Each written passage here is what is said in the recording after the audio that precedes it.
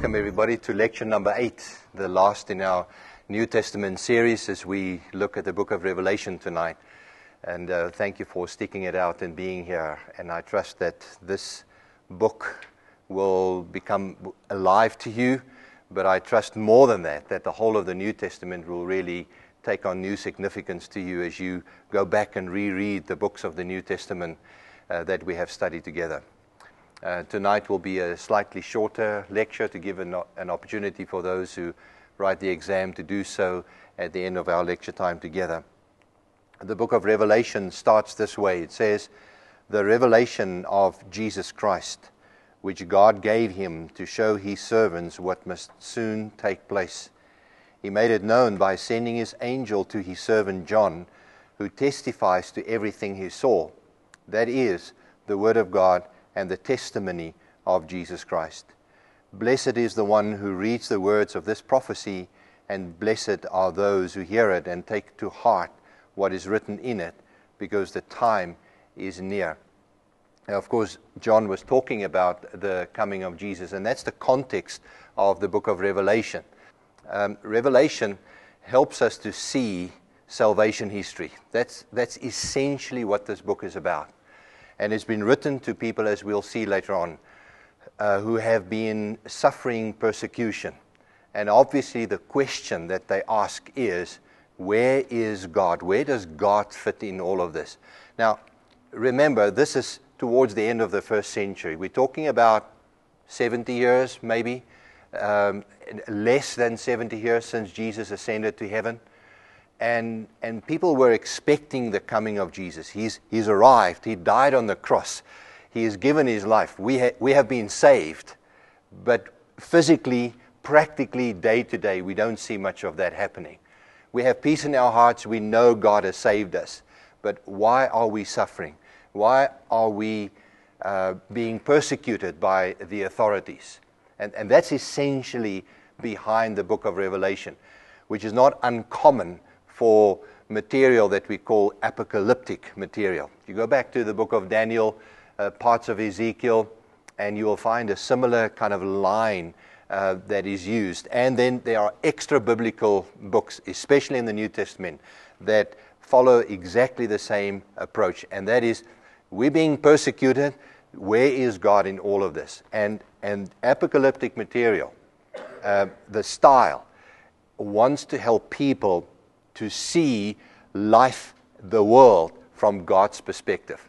And that's where the visions come in. So you have a person who has received all these visions from God and is now sharing it with his readers to say, this is where God fits in. Let me help you understand the picture. We live in a tiny little hole on a massive big wall. God sees the whole wall, but I can only see what I see. I can't even see the wall. I can only see the little hole where I'm living in. And uh, if we had a big wall behind me, I, I would actually use that illustration. But, but just see that as a massive big picture that God is busy painting. And I'm only one tiny, tiny, tiny little stroke on this huge picture that is called history. And when John writes to his uh, readers, the recipients of this letter or this book, the first ones, then he's trying to help them understand that God is ultimately in control. Now, he goes on, the rest of chapter 1 is introductory, tells us about John's vision.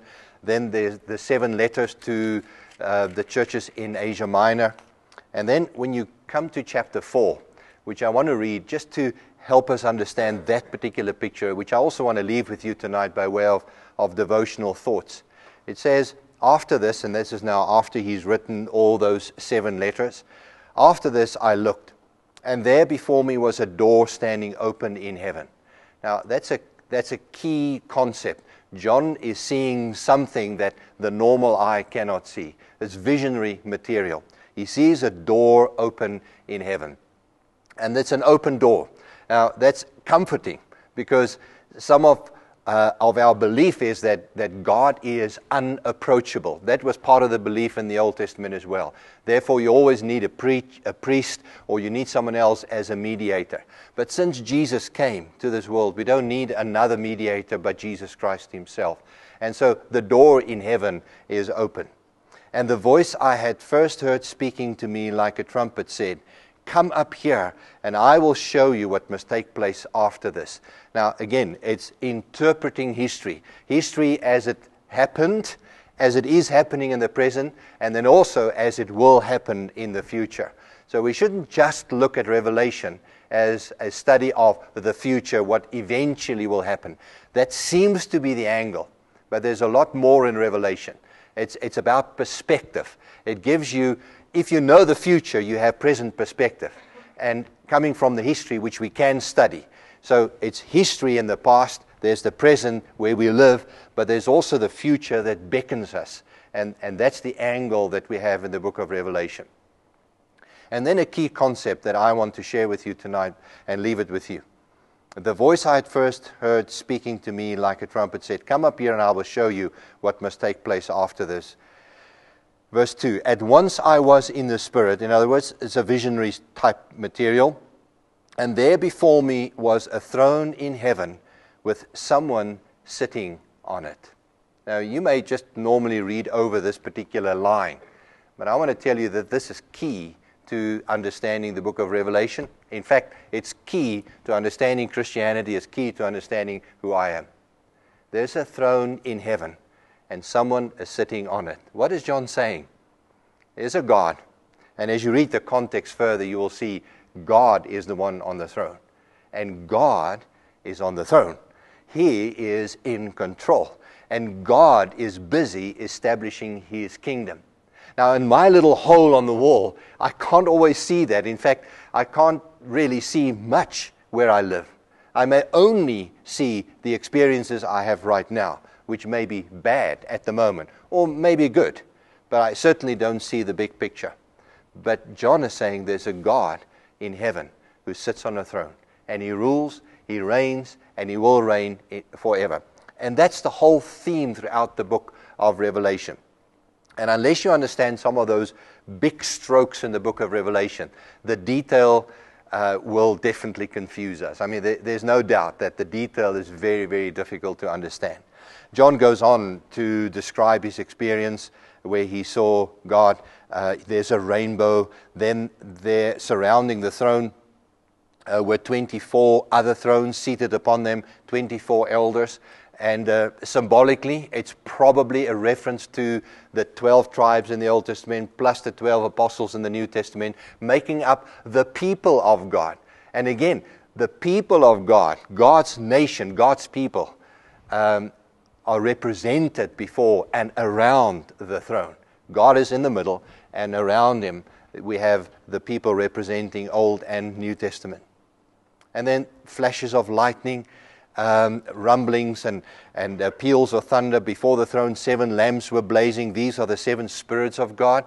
It's, it's probably, again, a symbolic reference for the Spirit of God. Seven spirits, or um, in, in this particular case, uh, uh, seven lamps that are blazing.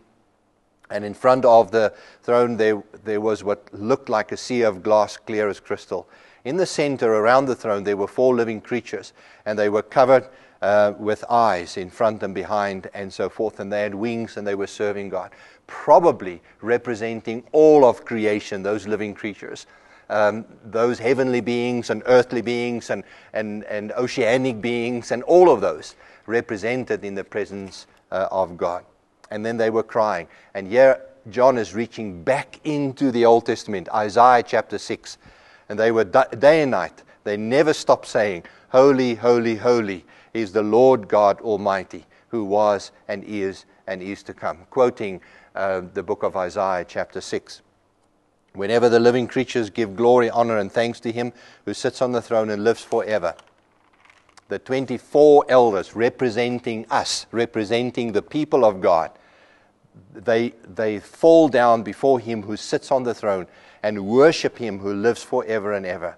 They lay their crowns before the throne. In other words, they worship, they acknowledge that God is the one in control. And uh, this, is, this is the call here for all of us, is to lay down our crowns, as it were, to say, Lord, we worship you, we honor you. You are the King, and you rule and you reign. And then they say, You are worthy, O Lord and God, to receive glory and honor and power, for you created all things, and by your will they were created and have their being. My, my whole being, my very existence depends on God.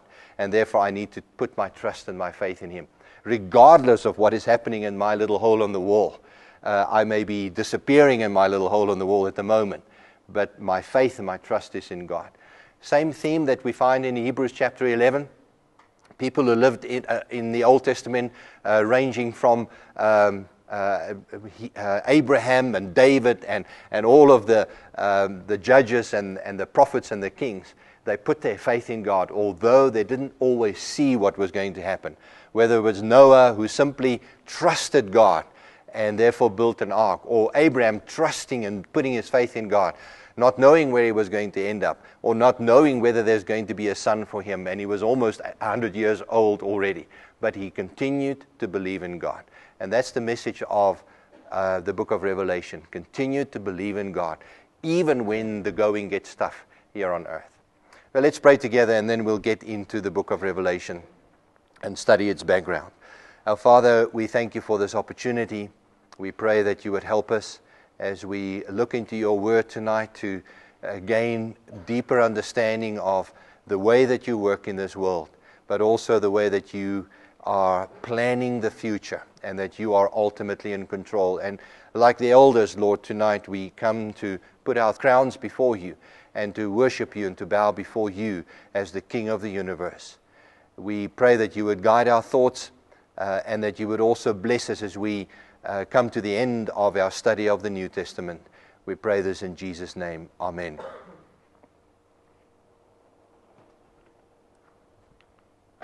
The story of the New Testament can really be summarized, I believe, in uh, different ways. Uh, up to this point in time, I've, every time I've taken you through the New Testament by talking about the Gospels, the book of Acts, and then the epistles, and we've looked at Paul's epistles, general epistles, and so on. But there, there's another way that we can look at it. Um, there are three different ways, and actually, in a certain sense, it represents the past. That's the Old Testament, and then the New Testament, where Jesus came into this world and um, he died, he gave his life, and established the church. And then uh, that story is told in the Gospels, the four of them.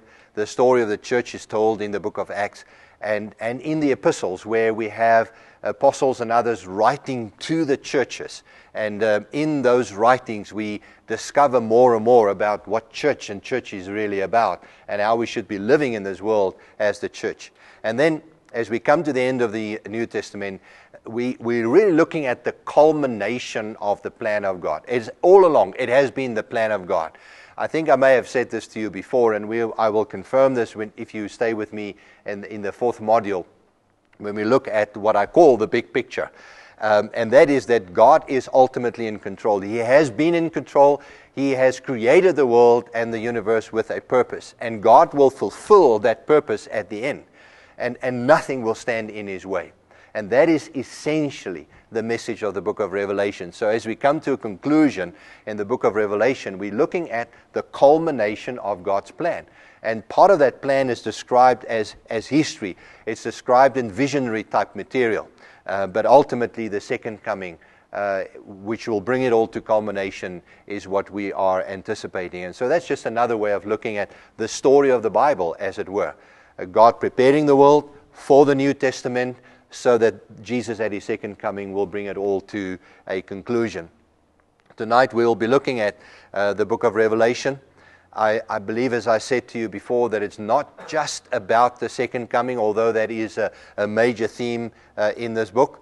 And it's also not the only book where we read about the second coming. We've already looked at uh, First and Second Thessalonians, two books uh, that are focused on the second coming, and there's several others in the New Testament, uh, including the Gospels, where we read about that. But Revelation does provide us with an overall picture of God's salvation plan. It's a, it's a key concept to hold on to salvation plan. God had a salvation plan. Even before the creation of the universe and the world, God had a plan. And that plan will, be, uh, re- will reach its fulfillment uh, in the future. I like this uh, particular picture that I found. I don't own this book, but there's a book called the Book of Revelation for Dummies, uh, just as it is a book for uh, a book on Windows or some computer program for dummies. Um, and, and I think most of us probably feel this way that we really need a book of Revelation for dummies. Because when I, when I open the book of Revelation, I feel like a, a person not really understanding what's going on uh, in this book. But as we uh, look at the book tonight, it has been described by many as a difficult book, and, and rightly so, for good reason, I believe. Um, and oftentimes people avoid it. Uh, perhaps the first couple of chapters uh, we get into, especially the seven letters, they exciting material and they make for wonderful background study. Uh, many people have taken a tour of the seven churches uh, in modern day Turkey uh, and visiting those particular sites uh, Ephesus and Philadelphia, Sardis and Smyrna, and those. Um, and it makes for a wonderful study when you read through Revelation chapters 2 and 3. Uh, when you get to chapters 4 and 5, uh, I have read chapter 4 and, and, just dealt with that briefly tonight. Still, very exciting stuff. When you get to the rest of the book, that you really uh, almost sometimes hit a brick wall and you wonder mm, what's going on here and what, what, are all these symbols and visions and, and what do they mean and where do they uh, fit in. So, tonight uh, we're going to give i'm going to give you a brief overview of the book of revelation trying to break it down i'm not going to tell you everything in terms of interpreting the book of revelation. There is just way too much number one. And secondly there, there, there are too many different views and opposing views as to how you need to understand the book of revelation. So it's not my purpose here to come with a final answer but to, to help you to give you some guidelines as to how you can read the book of Revelation uh, in the future. Um, in terms of required reading, um, there is just a, uh, an overwhelming uh, amount of different books and resources on the book of Revelation, and as many views. Uh, if you have a thousand books, you probably have a thousand different views on exactly how you need to interpret the book of Revelation. And so I I would encourage you to maybe read our prescribed material and then to read the book of Revelation. I think that's the, the most important thing. And um, in terms of background material, there's, there's plenty uh, that you can do. That word, salvation history, that I highlighted earlier on, in my mind, summarizes the book of Revelation. If you don't understand that concept, you will drown in the detail. Um, and that's one thing that I, I'm going to highlight.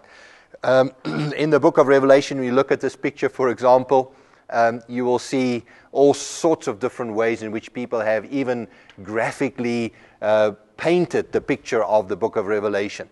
When you read through it, you go back to Ezekiel and some pictures in Daniel and Zechariah and others, uh, it creates very strange pictures, some, some kind of Hollywood science fiction type movies. And some of that really looks like science fiction uh, when, you, when you read through it and it makes for wonderful um, titles for movies. Uh, the Battle of Armageddon and, and all those titles that we have seen uh, in the past. But we have heard different and sometimes very weird interpretations of the book of Revelation. And I want to just caution you to try and hold on to the whole picture rather than get lost uh, in the detail of Revelation. And as I said, many of us, uh, including myself, oftentimes stop at, at uh, uh, chapter 5, because that's the exciting stuff. Uh, and then we sometimes may go over to the last few chapters because that's specifically where the second coming is addressed. But it's the middle big section of the book of Revelation that really makes for very difficult reading and interpretation. One thing that I want to highlight is the main thing. And you have to keep the main thing the main thing. Because if you lose sight of the main thing, you will drown in the detail of the different visions. And if you start attaching meaning and significance and interpretation to every single little detail in the book of Revelation, then you're going to be totally overwhelmed. There, there are too many symbols, too many uh, finer details. Uh, that if you are going to try and study them and give significance or meaning or interpretation to every one of them, then you will certainly drown in the book. But the one thing that we do not find in Revelation uh, is, this, is the date of the second coming. You can study it from back to front.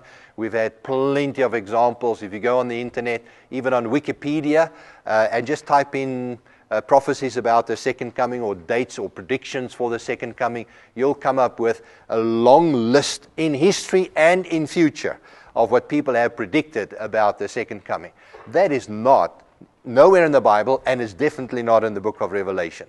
Uh, not even if you do all of your sums and you uh, calculate them and you put them all together and you interpret and cross reference and everything else, there is no way that anybody can uh, uh, predict the second coming of Jesus in terms of date and time.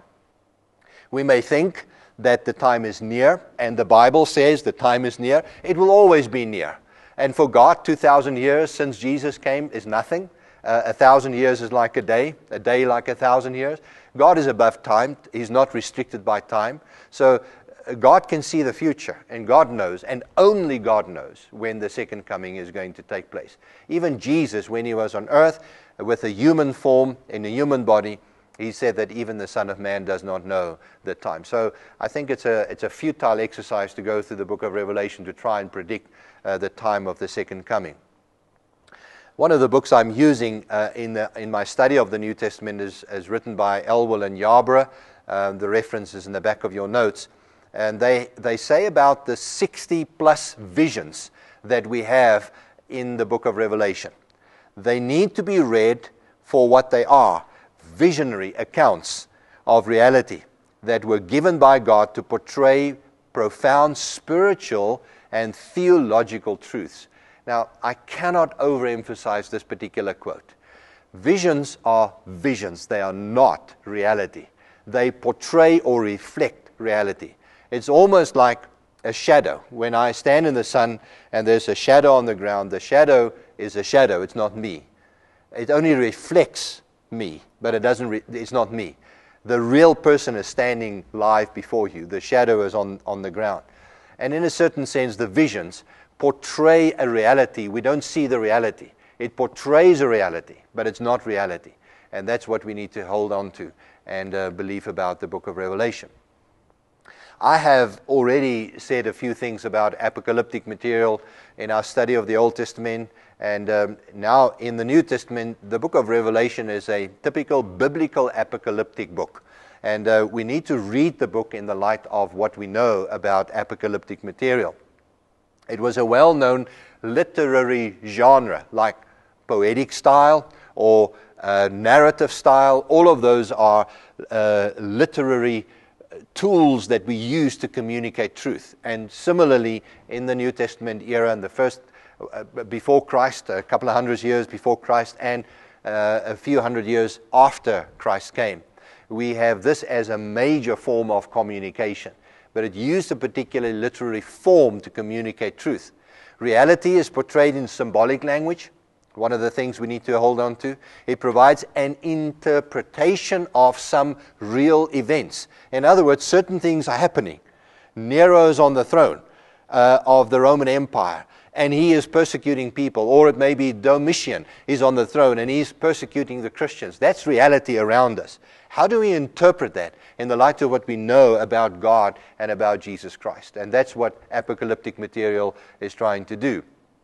The main emphasis, as I said, uh, that we saw in chapter 4 is that God is in control. We may not see it now, but as you look over the whole picture, as you take a step back and you look at the whole picture, and that's what Revelation is trying to do, to, to give us the big picture, to help us understand reality from God's perspective. I can only see my own life and the little hole in the wall, to use my illustration.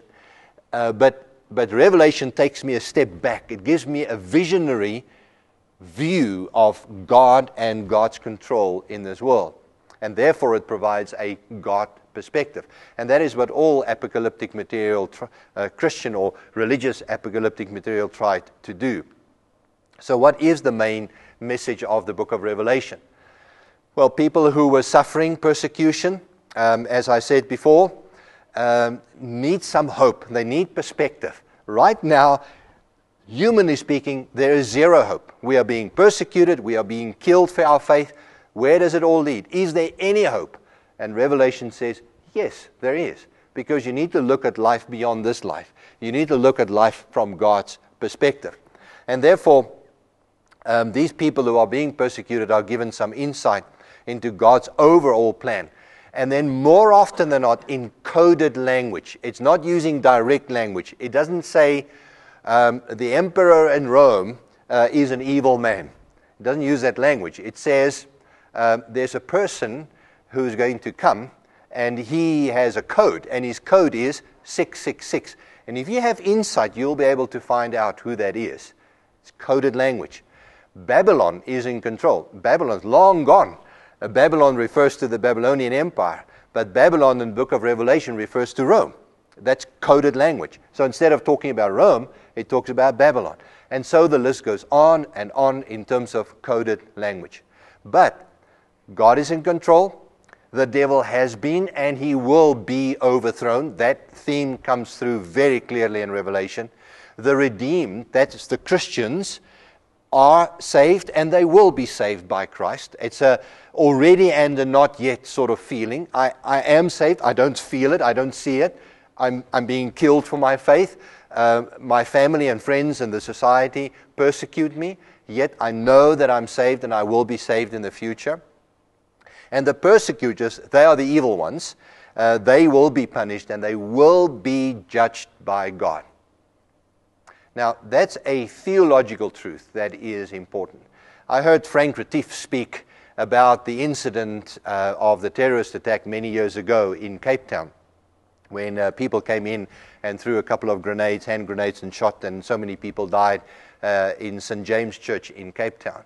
And he spoke about that particular incident, and he said the one truth that kept them going as a church at the time, and even for him as an individual, is that God will ultimately judge. It's not for them to retaliate, it's not for us to retaliate. It is for us to hand it over to God and to know that God ultimately will judge uh, what, is, what is happening. And so, uh, in, in that sense, people who are being persecuted know that God is ultimately the judge. Now, just a few other little background issues before a little bit later we get into the contents of Revelation. The, the author of the book is indicated as John very clearly on the first pages of the book of Revelation in chapter 1, verse 9, uh, as well as in chapter 1, verse 1. Uh, the revelation of Jesus Christ, which God gave him to show his servants, uh, he made it known to his servant John, and then also in chapter uh, 1, verse 9, I, John, your brother and companion in the suffering and kingdom. Um, the early church had very, very little problems um, in attributing the book to John. He mentions himself, and the John here would be the John who wrote the Gospel of John and the disciple of Jesus. Of course, there have always, and there always will be some uh, criticism or critique against this. Um, some scholars point to the fact that the Greek is different from what you find, find in the Gospel of John, and that the teachings or the theology here represents a later era, in other words, a further development in the thinking of the Christian church. However, um, I, I, think we can trust the early church um, uh, sort of verdict uh, to say that John is the author uh, of this book and uh, there's no compelling reason why we shouldn't take John uh, as the author of this book, and that provides us with a little bit of the background uh, of the date and the writing of Revelation. Um, there is a major persecution behind this book, so that's the first uh, clue that we need to look for, which is the major persecution. Now, in the first century, we know of at least two. One is under Nero in the 60s, and it was Nero who killed uh, and murdered uh, or, or had Paul executed.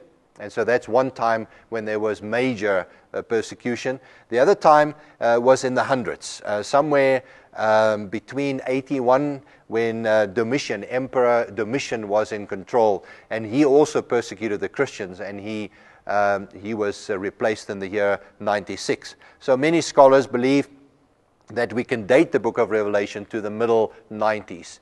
Um, and according to tradition, this is the time when John ultimately, after maybe before or after the fall of Jerusalem in 70 AD, he left uh, Judea and he traveled north and he went all the way to Asia Minor and he pastored the church in Ephesus. There's a very strong early church tradition that places him in the city of Ephesus at the time.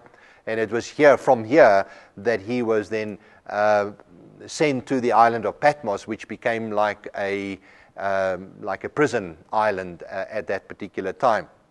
When you look at this map, uh, you will find uh, on that um, uh, cross line, you will find the, island of, of Patmos right there. John told us that he was on the island of Patmos because of the Word of God and the testimony of Jesus. In other words, creating the impression it is because he preached the Word of God and because he shared the testimony of Jesus with others that he was being persecuted, arrested, and then sent off to the island uh, of Patmos. He also introduced himself as a brother, a companion in the suffering. In other words, all of us are suffering, and I am suffering with you. So that's the persecution referred to over here.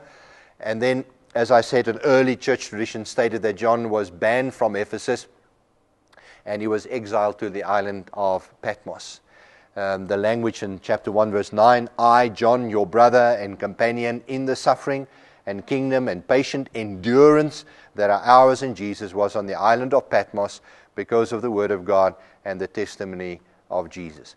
So that seems to be the background for um, the writing of the book of Revelation island of Patmos, and you'll see a, a map uh, of the island on the screen with a monastery that is built there on, on the left hand side, on the western side of the island. island uh, and that is traditionally where John uh, was placed in terms of um, living in, in imprisonment on this island.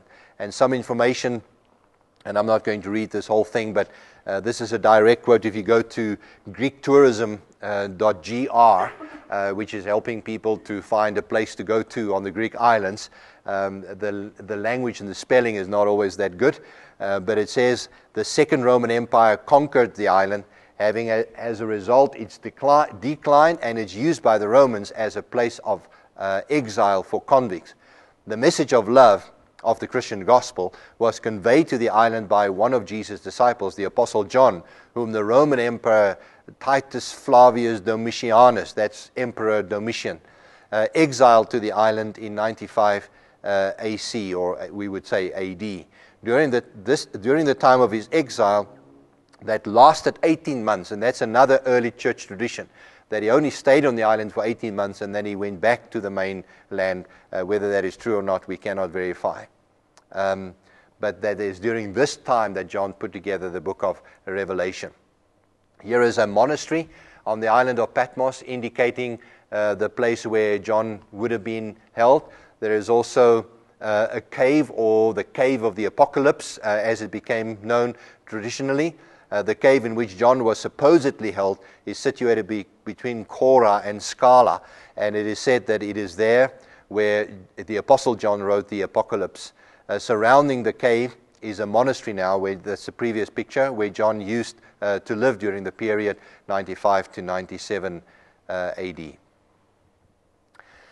More on the island of Patmos. Uh, it has been a part of Greece since 1947. That's just modern day uh, times and it may be reached by boat from uh, different places. Uh, the ferry from Samos takes about two and a half hours and so on. Um, and then the Romans used the island as a penal settlement to which they sent political agitators and others who threatened the peace of the empire. Uh, according to Eusebius, uh, John was banished to Patmos by the Emperor Domitian in AD 95 and released 18 months later under Nerva. Um, and, and that is a quote again from uh, When it, when it comes to the contents of the book of Revelation, um, it, it can be very, very complex. And there are three major themes that we need to highlight in the book of Revelation. The first one I've already referred to, chapters 1 to 3, an introduction in chapter 1. In chapter 2 and 3, we have the seven letters written to the churches in Asia Minor. And then that's the first section, the introduction. The second major section is a description of the history until the return of Jesus Christ.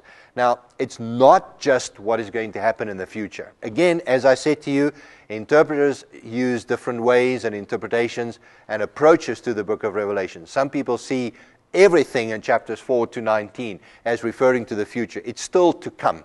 However, I am personally of the opinion that John is describing salvation history in its totality. In other words, he's describing what God has done, is doing, and will be doing in the future. And so that's the way we need to look at that. We'll break it down in a, in a few moments' time. And then chapters 21, 20, 21, and 22 really focus specifically on the return of Jesus Christ. We have the new heavens, the new Jerusalem, and all of those things described uh, in those final chapters. And that is very specifically about the return of Jesus Christ. The middle section is the one where we have those difficult um, descriptions of uh, sevens seven seals, seven trumpets, and seven bowls. And there are more sevens in the book of Revelation. And um, they, they're taken by many commentators as a sort of a parallel. So you need to look at seven seals running right through history. You need to look at seven trumpets running right through history. And then seven bowls running through history as well. One way of looking at the book of Revelation, it, personally, I think it makes a lot more sense as far as I'm concerned. Um, but as I said, others would definitely disagree uh, with that. That the same events are actually described, but from different angles with different perspectives. When we look at a, a detailed outline and an overview uh, of the contents of Revelation, I, I believe it helps us to paint the picture of the story. I've already referred to the fact that there are many, many options. Um, and so uh, this is just one option, and what I'm going to do is just give you a quick breakdown of the different chapters and roughly what we find in them. I wish we had time to read it all, but I would only encourage you to maybe use this outline and then to go through the book of Revelation, even if you don't read every single detail, but to try and keep yourself um, informed in terms of the outline, but then reading the book of Revelation along with that. When it comes to chapters 1 to 5, we have introductions. Chapter 1 is the vision of Jesus Christ. John is on the island, he describes that, and he turns around, he sees someone speaking to him, and it turns out to be Jesus. And it's described in, in different forms. It's not the same picture we have in the Gospels. In the Gospels, we have Jesus living on earth. He's a human being, he dies on the cross, and he is pretty much just a human being, as we would see a normal human body. But the visions of Christ in Revelation are very different and very varied as well. Um, you now have a person who has been elevated, and, and the vision of Jesus Christ is very different. And then in chapters 2 and 3, the seven churches, and then in chapters 4 and 5, we have John now seeing the visions of God in heaven. The heavens are open. Uh, John is, is given an opportunity, the privilege of seeing history from God's perspective. And so God is on the throne, and God invites John into this picture to be able to see what is happening and how things have unfolded. And there are four living creatures. Um, there, there's a scroll that is unfolded. The scroll represents history, and only the Lamb of God is the one who can open the scroll. Uh, the Lamb of God in this case is Jesus Christ. And then there is a lot of worship in chapters 4 and 5, as we have already seen in chapter 4. In terms of the location of those seven churches, you will find them all uh, on the western side of modern day Turkey, which was the province of Asia Minor.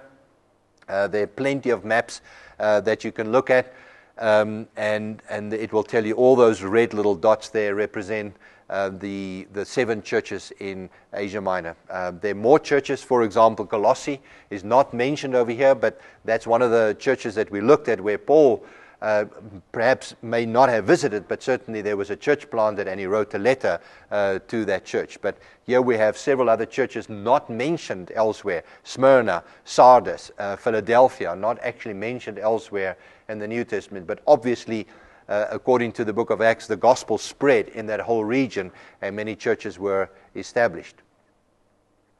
When it comes to seals and trumpets, uh, we then go to chapter 6, and this is where those, the number 7 becomes very important. Chapter 6, the opening of six of the seven seals. You almost get a bit of a pattern here now, uh, as you will see in a moment. And then chapter 7, verses 1 to 17, there's an interlude. Uh, before the opening of the seventh seal. And there's the description of 144,000 people before the throne. There's a multitude of nations and people and languages uh, before the throne. And then in chapter 8, the seventh seal is opened, um, and then the blowing of six of the seven trumpets is also described in this particular section. And then there's an interlude in chapter 10, and that is followed by the seventh trumpet. And so you have this bit of a, a pattern six opened, interlude, seventh one. uh, six trumpets, an interlude, and then the seventh trumpet. And then as you go on to the great battle um, in chapter 12 uh, and 13 to verse 1, we have the cosmic conflict between good and evil. And it's described in symbolic language as a woman. Obviously, it's the good, the church, and the dragon, which is Satan. Uh, and everything that Satan represents. And there are many different pictures and animals and things described over here. In chapter 13 and 14, we have beasts, uh, more evil, uh, in, the, in a description of beasts coming out of the sea and out of the land, and then believers and the judgment day. There's a beast from the sea, there's a beast from the earth, there's a lamb, and there's, the, again, the 144,000 uh, people or, or saints. And then there are flying angels, and they're going, and now they're reaping, they're bringing in the harvest, uh, as it were. And then uh, as we continue, we have uh, the final judgment described. And now we, we, we're heading towards the future. In chapter 15 and 16, we have seven angels, seven plagues, and seven bowls. In chapter 17 and 18, uh, we have the fall of Babylon. Uh, there's a woman on a beast, and there is the fall of Babylon. Babylon meaning evil, representing every evil. It may be Rome in the time of John. Uh, for us, it would represent whatever is evil. Babylon would re- represent any evil uh, in this world. And then the final reality is described by John, in, as I said, in chapters 19 and further. The return of Jesus Christ, there's praise, there's a wedding feast, there's a rider on the white horse, and again, is Jesus. And uh, we've now had Jesus as the Lamb of God, a lamb slaughtered. Uh, we have him as a rider on a white horse, and many other different pictures of the Lord Jesus Christ. In chapter 20, uh, the millennium. Millennium referring to a thousand years of reign. There is Satan who is condemned and, and then thrown into hell, and the great white throne and the judgment there. And in chapters 21 to 22, uh, we have a description of the new heaven and the new earth. There's a new Jerusalem that comes down from heaven. Uh, in a certain sense, and this is the way that I personally interpret this, heaven and earth is now combined. Whereas for us now, uh, heaven is, is a different reality out there somewhere. But in the new reality, heaven and earth will be combined, and we'll live on a new earth and, and heaven will come down to earth. The new Jerusalem. There's no need for a temple because God is present in this new reality. And so there's no temple anymore. Um, there's the bride of the Lamb. Again, it's a reference to the church. And um, in chapter 22, right at the end, there's simply just a, re- a reference, a, a, a, plea for the second coming. Um, and there's the river of life and the words, I am coming soon. And John exclaims and, he says, Please come soon uh, Lord Jesus. So that gives us a, a, just a, a, brief little feel of the contents of uh, Revelation. Now, before we try and interpret that or put that in some kind of perspective, um, let's take a, a, quick break and then we'll come back and make, try and make some sense out of the book of Revelation. All right, as we look at how we interpret the book of Revelation, uh, in a certain sense, our brief little journey through uh, the content of Revelation may be dissatisfactory. I wish we had a lot more time. And, and, and, to be honest with you, I wish I understood it a lot better so that I can, with major confidence, come here and say to you, this is exactly how you interpret the book of Revelation. I just don't have that confidence because I'm struggling over many of those issues myself.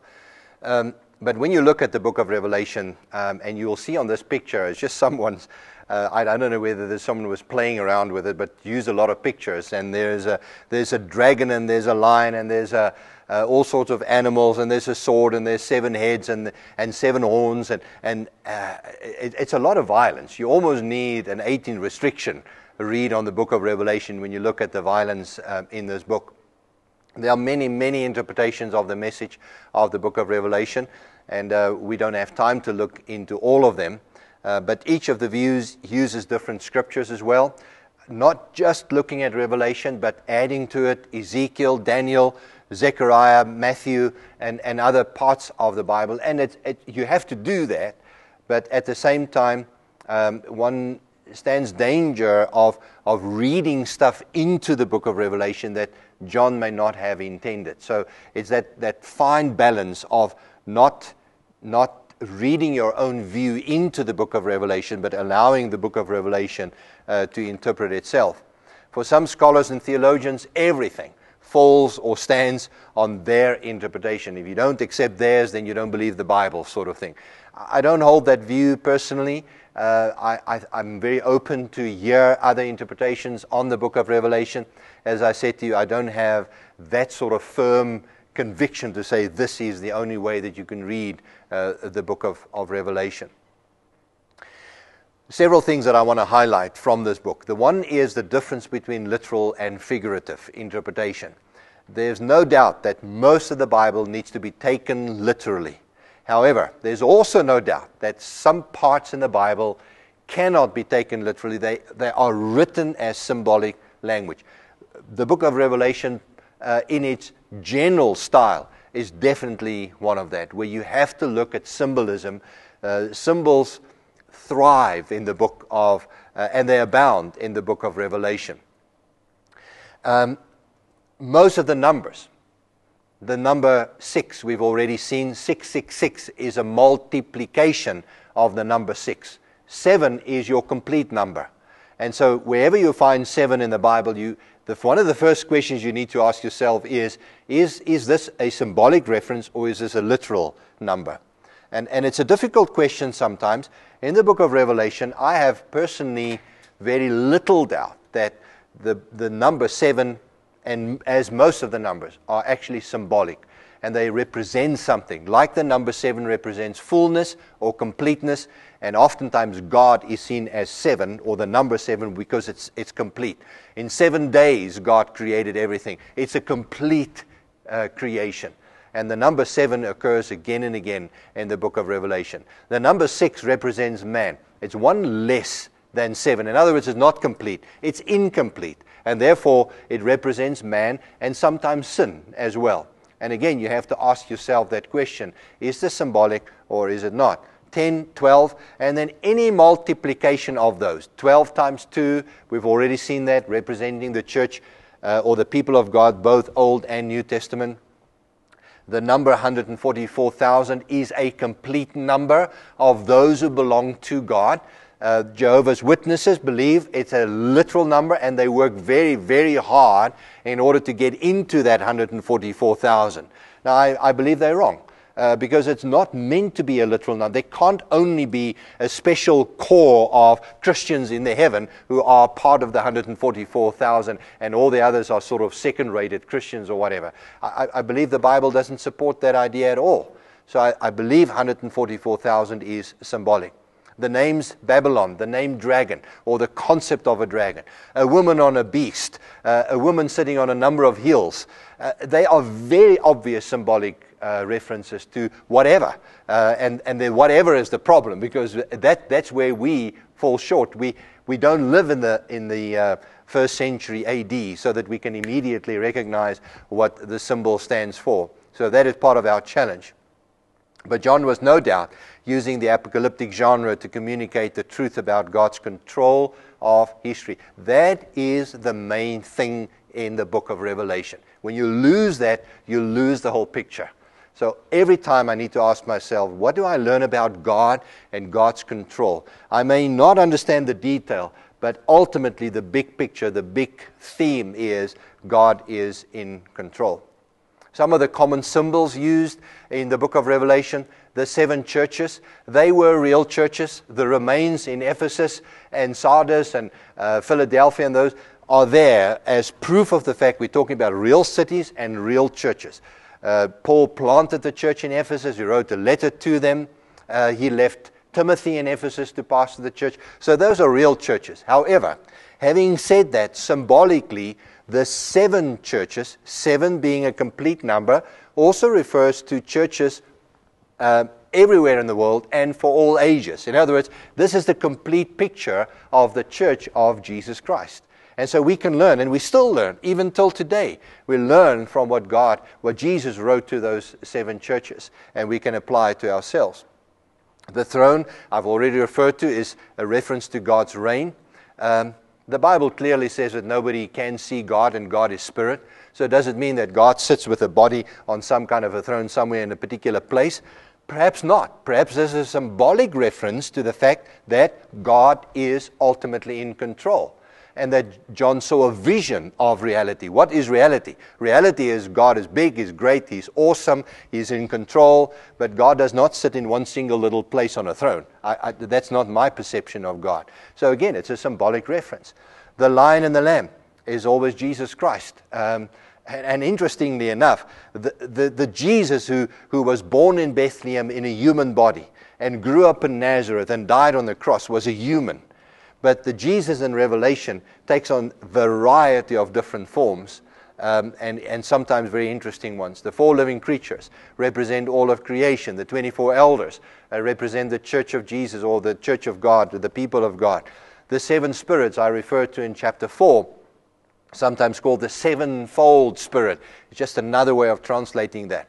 It refers to the Holy Spirit. Again, it's the complete spirit, it's the, uh, the full spirit of God. Um, and interestingly enough, it's in symbolic terms referred to as the seven spirit. It doesn't mean that there are seven spirits of God. There's only one Holy Spirit in the Bible, uh, but in Revelation, it take, uh, the Spirit of God takes on symbolic form.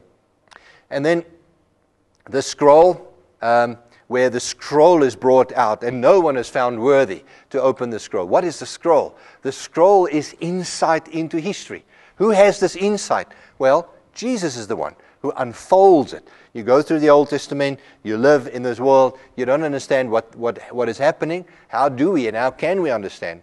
Because Jesus is the one who can break the seal uh, and the seven seals. He's the one who breaks those seals and he unveils, he, he, he reveals history uh, to us. And then I've already spoken about the 144,000, the white robed crowd before the throne uh, are the people who have been saved. Uh, the multiple languages and nations and so on before the throne. The dragon is clearly Satan. In chapter 12, verse 9, he's even indicated as uh, Satan. So that's the dragon. The woman clothed with the sun, that's the church in chapter 1, verse 12. And the number 666, it's the number of man in chapter 13, verse 18.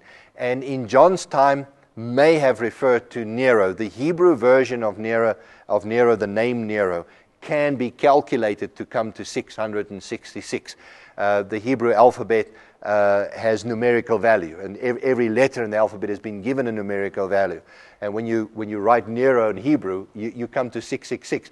Many people in history have found plenty of others, whether it is Hitler or Mussolini or whoever it was. They, some clever way of designing that, and you can come to the, to the number 666 if you find a clever way of doing that uh, I, I personally think is probably a waste of time because it refers to some evil person, and in this particular case, to the Antichrist ultimately. And Babylon, as I said, is the enemy of the church. When we look at Revelation and the second coming, which is a major theme in the book of Revelation, we're talking about God's control. The second coming, there's no doubt that Revelation tells us about history, past, present, and future. It's especially the future aspect that received the most of our attention through history. Uh, many people are simply just intrigued by a date and a time and looking at the events in the world. I remember growing up and in my, in my, my dad, who was a pastor, and, uh, and, and, and the European Union was established, and they reached the number 10 or something. I forget exactly what it was, but I, I remember how excited people got because this is now fulfillment of prophecy. They were just waiting for that last little horn that was going to grow. Whatever. I had zero idea what they were talking about. I still don't have an idea what they were talking about because we're now years on and the European Union is much bigger than the numbers that we find in the book of Revelation. So I'm cautious. Uh, I don't want to just write it off altogether but at the same time, I'm extremely cautious when it comes to world, current world events to say, I can make the link. There's a world event, here's Revelation, the two must be linked, therefore Jesus is going to come back X, Y, Z. So I'm very, very cautious and actually critical of that. Um, it is in this regard that we have to just briefly look at that concept of the millennium because it refers to the second coming. And when it comes to um, the, the last module and uh, our last lecture in the last module.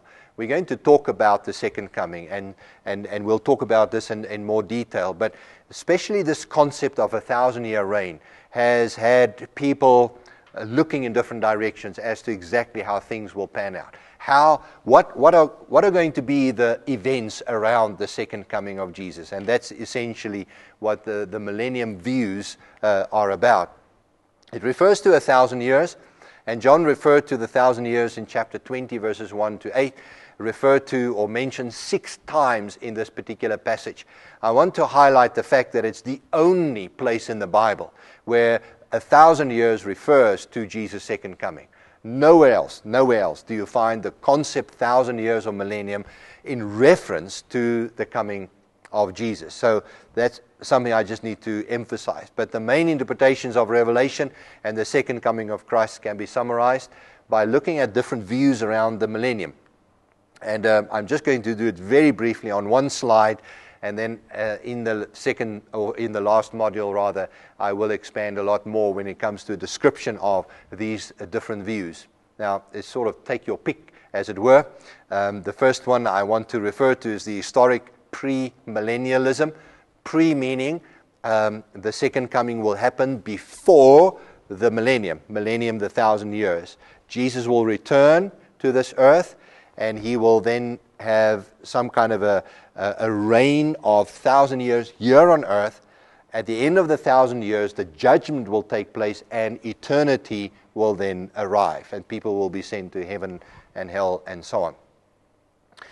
A millennialism, where A is a negative, A is um, denying or negative. In other words, there is no such a thing as a thousand year reign. People who believe this see a thousand years as, again as symbolic, as much of Revelation needs to be interpreted as symbolic. So they say a thousand years refer to a complete number of the reign of God. And they say there is no such a thing as a physical thousand years of reign of Jesus. Already we're living 2,000 years after Jesus came. And for all of these 2,000 years, Jesus is in control. God is in control. Jesus reigns. And so it's a symbolic reference to the reign of Jesus over this world, although you may not necessarily see it. That's the major criticism against this view. Is where, where do you see the peace that is talked about in the millennium or the time of the millennium? There is another version of the historic premillennialism. It's called dispensational premillennialism. Big words. And it's a whole series of events that will follow one after the other in other words, we're living in different dispensations, and they will call it the dispensation of the Old Testament. Uh, then there's the dispensation of, of the Christians, the Gentile Christians. Then there's going to be the dispensation of the Jews. Uh, and and there, there's going to be a secret rapture where the Christians are going to be taken out of this world. Uh, then there will be a seven year uh, tribulation period. Then Jesus is coming back. Then he rules for a thousand years on the earth. Then the judgment will take place, and so on. It's called dispensational premillennialism.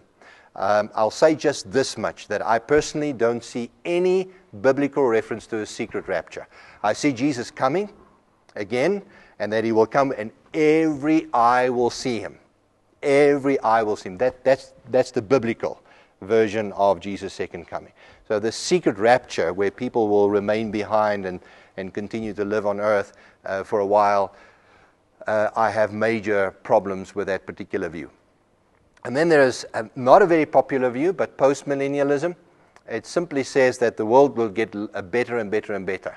And at the end of the millennium, which is a symbolic reference, the end of this reign of God, of Jesus, then the world will come to a better uh, situation, and then Jesus will come back. Uh, so the world will get better and better. There are not many takers for this particular view anymore, uh, because I think the world wars have shown us that the world is not getting any better. And right now, with all the riots and uprisings on around the world, uh, the world is certainly not getting uh, much better. So I don't think many people believe this anymore. There are other views um, around that and expansion of these views, but we'll, we'll give more attention to that in module number four. Now, when it comes to the message, I think you know, one thing is, is reading through Revelation, but trying to summarize the message of the book of Revelation, uh, I think will bring it to a conclusion for us. We need to understand something about God that He exists as the creator of the universe, that he steers the course of history. That is a very, very clear message in the book of Revelation. It gives me a huge amount of comfort. I know that God is on the throne. I may not feel it, I may not see it, experience it every single day of my life, but the knowledge that needs to, to sink into my heart daily is that God is on the throne, regardless of what is happening around me. I've been challenged just recently reading the story of Abraham. He was almost 100 years old. He lived with a promise. Now, I am sure that Abraham constantly doubted that promise. In fact, we read about how he argued with God and said, Lord, you know, I'm, I'm actually old. It, it can't happen anymore. I can't have a child. But he, did, he never disbelieved God. He never left his belief, his faith in God. He always believed in God. He didn't necessarily believe in a son but he believed in God. And that to me is an important distinction. I believe in God. I need to continue to believe in God, regardless of what is happening to me. I may lose uh, a family member uh, through death. I may pick up cancer. Uh, I may have disasters in my life. I may even be persecuted for my faith. But the one thing I never should lose is my belief in God. God is on the throne, eternally existing, and He is the one who deserves praise. That is clear in the book of Revelation. God is worshiped, He will be worshiped uh, by all of creation. Ultimately, every knee will bow, every tongue will confess that Jesus is Lord. And God exists as a triune God. Uh, that picture also is clear in, in, the book of Revelation. God on the throne, the Lamb around the throne, and the seven spirits uh, or the sevenfold spirit uh, is, is there. So, those three descriptions we find very clearly in the book of Revelation. And then there's the Son of God, Jesus Himself. Both God and Jesus, the Son of God, the Lamb, are recipients of praise and worship. Names, titles, worship, descriptions of Jesus abound in the book of Revelation, from riding on a white horse to a lamb that looks like he's been slain. Again, it, it's, a, it's a symbolic reference. Uh, the Jesus that I know is a, is a Jesus, in my mind, sitting on a throne, ruling. I don't see pictures in my head of a lamb that you know, has been slain with blood flowing, anything like that. But that's the vision that John had. So it's different descriptions of Jesus throughout the book of Revelation, giving us different angles, different descriptions of the way we can look at Jesus and what he came uh, to do for us.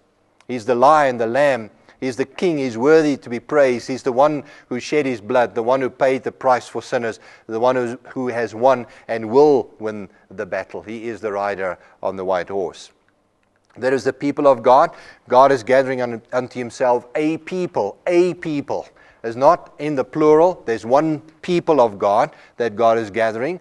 Uh, there is not an Old Testament God and then a New Testament God gathering two kinds of people. There's one single people that God uh, is gathering. And they are the new people of God, and they have been redeemed by the blood of the Lamb. That's the only kind of people that will live eternal, eternally with God. They are in, in a battle with Satan in this world, uh, but they will be victorious because Jesus lives in them, and Jesus already won the battle, and he will continue uh, to win the battle through them. And though they are being persecuted, they, if they endure to the end, then they will be saved. In terms of the end times, um, eschatology uh, is a word we use for this. Uh, it, it's uh, taken from the word eschatos, which means end or end times, and obviously, uh, ology is the study of the last things. Uh, believers have their eyes on the world, on this world, the battle, but as we battle, we also look up because we know that God uh, is in control and that Jesus already won the battle and that final victory is promised and secure. Future victory is based on the victory that already won by, by Jesus. And um, Revelation abounds with descriptions of the future uh, reality. There's eternal life, there is comfort, the tears will be wiped off their faces. There is the coming of Jesus Christ, there is peace, there is a new heaven, there's a new earth, there is a new Jerusalem. Um, there is the, the fact that we'll see God face to face. So, all of those things describe that new reality that we anticipate somewhere in the future. Revelation creates this expectation. Just bait fuss, as it were. Hang on.